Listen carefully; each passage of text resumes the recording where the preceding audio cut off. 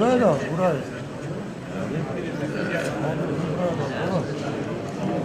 Protokoldeki kıymetli konuklarımız, kahraman gazilerimiz, kıymetli basın mensupları. Kayseri Kıbrıs gazileriyle buluşma programımıza hoş geldiniz, sefalar getirdiniz, şeref verdiniz.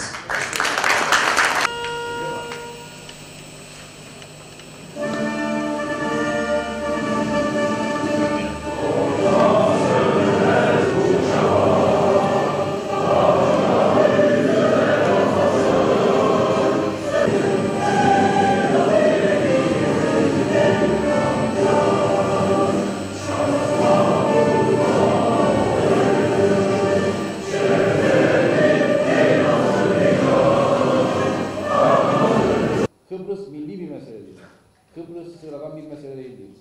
Kıbrıs nedeniyle elbette Kıbrıs Türk halkının geleceği, Kıbrıs Türk halkının özgürlüğü, Kıbrıs Türk halkının güvenlik içerisinde yaşayabilmesi ama aynı zamanda bugün 85 milyon, yarın 100 milyon Türkiye Cumhuriyeti'nin de güvenliğini çok yakından ilgilendiren fevkalade önemli bir milli meseledir.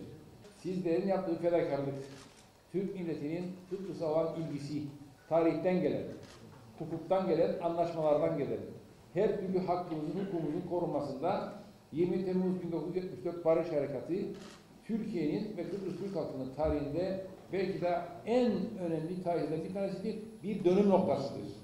Çünkü Türk askeri Türkiye Cumhuriyeti'nin gardörlük hakkını kullanarak adaya çıkmasaydı, sizler o gün adaya gelmeseydiniz, bugün çok büyük bir ihtimalle Kıbrıs bir Yunan adası olacaktı.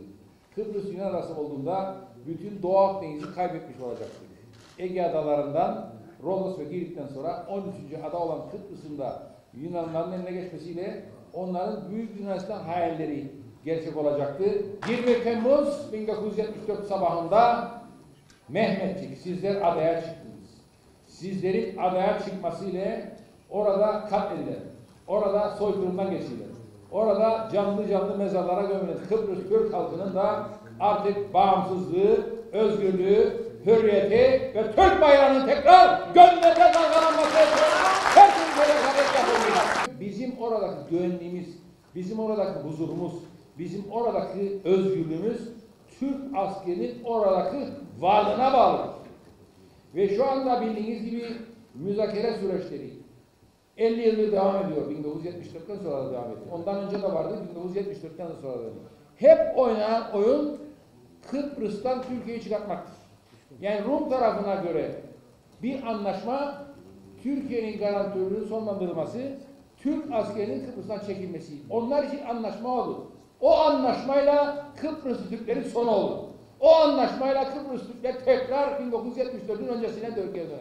Dolayısıyla bizim böyle bir şeyi kabul etmemiz mümkün değildir.